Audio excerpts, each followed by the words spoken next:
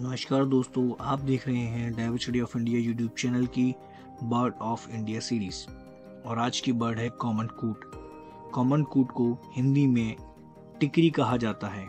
Common कूट Asia, Europe, Australia, New Zealand और उत्तर Africa में पाई जाती है। इनका शरीर व सर काले रंग का होता है, वहीं चोंच और माथा सफ़ेद रंग का होता है। कॉमन कूट की लंबाई 14 से 15 इंच तक होती है, वहीं इनके पंखों का फैलाव 28 से 31 इंच तक होता है। कॉमन कूट में नर मादा की तुलना में बड़े होते हैं। एक नर कॉमन कूट का वज़न औसतन 890 ग्राम होता है, वहीं एक मादा कॉमन कूट का वज़न 750 ग्राम तक होता है।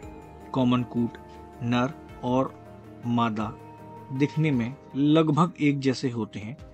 कॉमन कूट की खुराक में मुख्यतः छोटे कीड़े, दूसरे पानी वाले पंछियों के अंडे, काई, जलीय पौधे, बीज और फल आदि शामिल है। एक कॉमन कूट पक्षी करीब 6 से 10 अंडे तक देती है। आगे सुनेंगे आप इनकी call.